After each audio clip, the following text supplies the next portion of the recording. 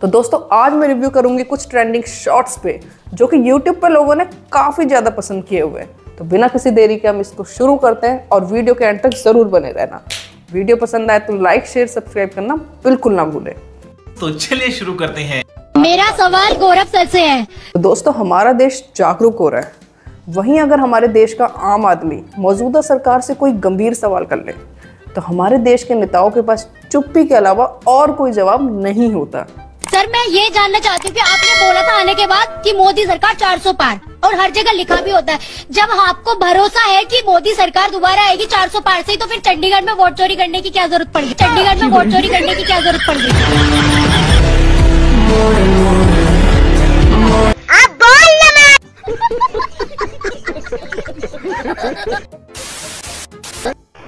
आजा संडास दिखा तो हाँ।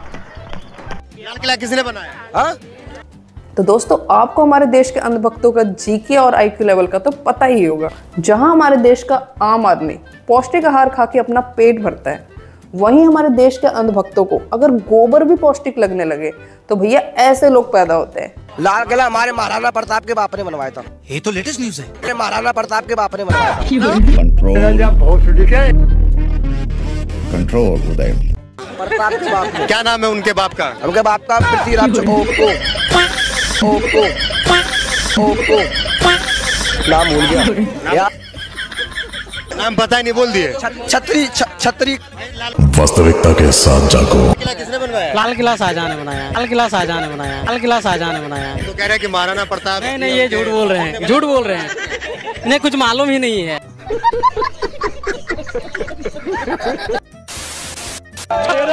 वो चूहे हो तुम लोग।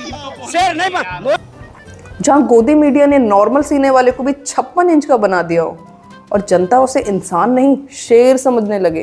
तो देखिए क्या हाल होता है। देखते हैं। वो शेर है कि झपट्टा मारता है और सीधे अंदर लेके भागता है। और तुम चूहे हो चूहे की तरह मणिपुर मणिपुर। मोदी शेर है लेकिन उसका सर्कस मास्टर रिंग मास्टर कौन है? गौतम अडानी। अब दूसरा शेर चूहों का शिकार करता है। देखो भक्तों की नॉलेज देखो। शेर चूहों का शिकार करता है। अरे शेर चूहा कब से पकड़ने लगा भाई? ये सारे मोदी के भक्त हैं। इन सबको मोदी से प्यार है। अरे सुनो ये सारे मोदी के भक्त हैं। इन सबको मोदी से प्यार है। शरीर से सारे सलामत है। दिमाग से सबके सब बीमार है। कांग्रेस और इंडी गठबंधन के लोगों को जब देश में चुनावी माहौल चल रहा हो और वहाँ पर विकास और बेरोजगारी की कोई बात ही ना उठाई जाए। और चुनावों में सिर्फ़ मुद्दा उठे मीट मुर्गा और मटन का। तो सोचिएगा हमारा देश कहाँ जा रहा है। इन्हें लोगों की भावनाओं से खिलवाड़ करने में मज़ा आता ऐसा कैसे हो सकता है? सावन में एक सजाया यो- सजा याफ्ता। ये मुँह से सुपारी निकाल के बात कर रहे बाबा। सावन के महीने में मटन बनाने का मौज ले रहे हैं। जली ना तेरी भी जली ना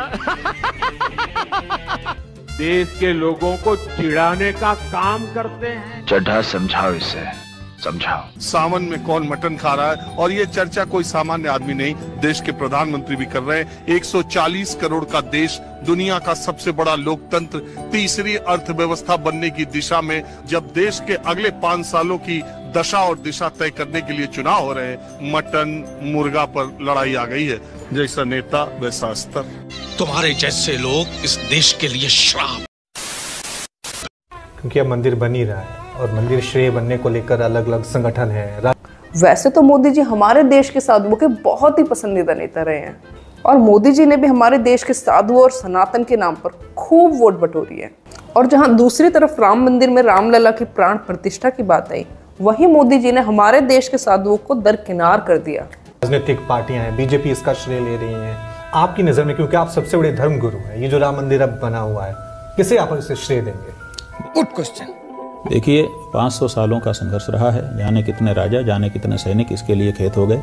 तीन लाख से अधिक लोगों ने आत्मोत्सर्ग किया है। उनको श्रेय नहीं जाएगा। नरेंद्र मोदी को देंगे। उस, इसे पार्टी की मीटिंग समझ के फंस गया। उसी तरह से अब तो हम तो सिक्वेंस में आ रहे हैं लेकिन आपको तो धैर्य नहीं है आपको तो नरेंद्र मोदी का केवल सुनना है। बाकी कुछ आपको बाकी तो कुछ दिखाई ही नहीं देता प्रश्न कर रहा हूँ जो मौजूदा आज की आज की मीडिया का यही नियम है कि उनको नरेंद्र मोदी की सिवाय कोई बात करो उनको सुनना ही नहीं नहीं आप कई हम हम नहीं कहना चाहेंगे। चलिए ठीक है। एक नरेंद्र मोदी का कहो। एक एक नरेंद्र मोदी का कहो। एक गजब बेइज्जती सर दिल्ली में भाजपा चुनाव तो जीत नहीं पाती तो क्या ये दूसरा तरीका है सत्ता पे कब्जा करने का कि मुख्यमंत्री को अंदर ही कर दो? सही पकड़े हैं। हमारे यहाँ ऐसा ही होता है। वाह मोदी जी वाह। आप सचमुच ग्रेट हो। मगर क्यों? मैं नहीं बताऊँगा। अरे बड़े खतरनाक लोग हैं। गजब टू बीमार आदमी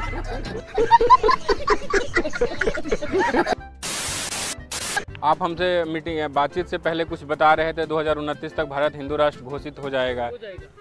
वो तो होने वाला ही है 2029 और 30 के बीच में। मोदी है तो मुमकिन है। अच्छा। और उससे जो गाय वाला आ गया तो तो और भी मुमकिन है।